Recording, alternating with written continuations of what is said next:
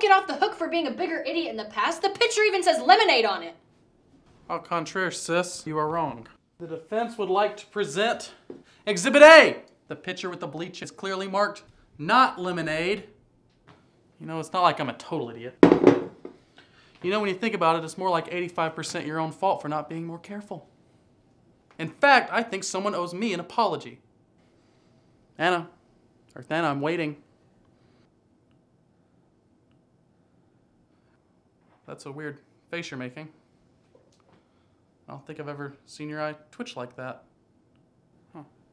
Hey, do you have any gum, Anna? Gum? No? Hello?